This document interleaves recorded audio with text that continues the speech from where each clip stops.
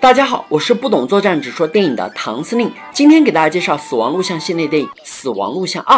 想看《死亡录像一》的同学可以翻阅我之前的作品。《死亡录像二》承袭了第一部的剧情。在《死亡录像一》发生一小时后，政府又派遣一名卫生官员与 SWAT 小组进入公寓。他们此行的目的呢，就是配合卫生官员完成一个任务。来到公寓，到处都是血迹斑斑。按照约定的线路，大家来到阁楼寻找东西。找什么东西呢？别问我，其实我也不知道，只有这个卫生官员知道。可找了半天，并没有找到卫生官员想要的东西。就在此时，楼下传来一名队员的声音：“啊，有丧尸，吓死宝宝了！”一名队员落为丧尸的盘中餐，瞬间变成了丧尸，追着其他人就是一顿狂咬。为了阻止丧尸的进一步行动，卫生官员马上拿出十字架开始念经。瞬间，丧尸从狂躁不安变成了安静的美男子。随后，卫生官员就将丧尸封印在房间。这，这还是医生吗？剩余的队员完全被吓傻了，哭爹喊娘想回家。我真怀疑他们是走后门进的 SWAT 小组。SWAT 小组好歹是特战部队的精锐啊！唉，想回家，卫生官员是百分百不同意的。没完成任务，所有人都不能出去。好在队员们也不傻，开始质疑卫生官员的身份。正常的卫生官员是不可能会念经的。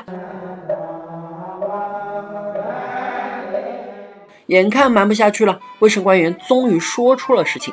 其实啊，他是名神父，进公寓来寻找一个小萝莉。这个小萝莉可不简单，在很多年前，她被鬼附身了，随后被安顿至此，用于科学实验。后来实验失控，小萝莉害死了科学家，而小萝莉很可能还活着，而且还在这栋公寓啊！你们莫慌，取点小萝莉的血液，我们就出去，好吧？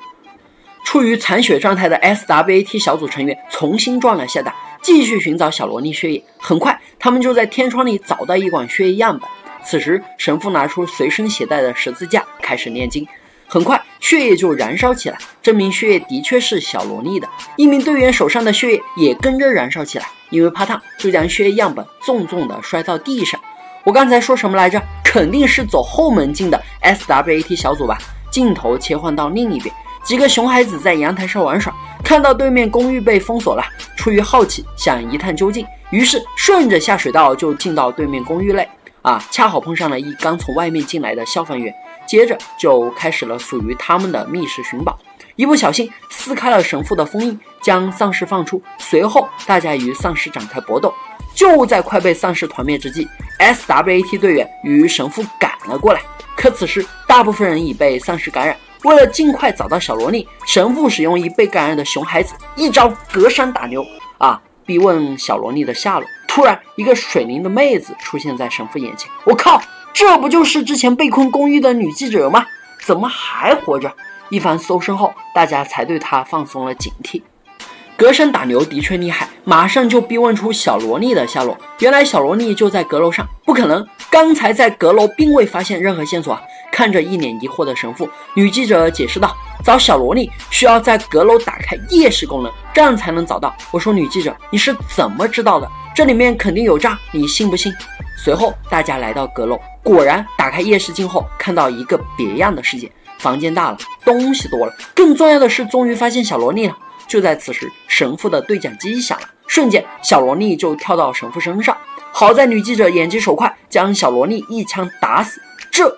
难道你们不觉得女记者话未说完，女记者终于露出了邪恶的嘴脸，消灭了剩余的队员，并骑在神父身上开始淫笑起来，随后将神父打死，并模仿神父的声音向总部请求撤退。故事到这里就结束了。死亡录像系列电影都有很强的代入感，摄像机将观众带入那栋恐怖的公寓，犹如置身其中，区别于以往电影借助化妆打光设置的背景音效。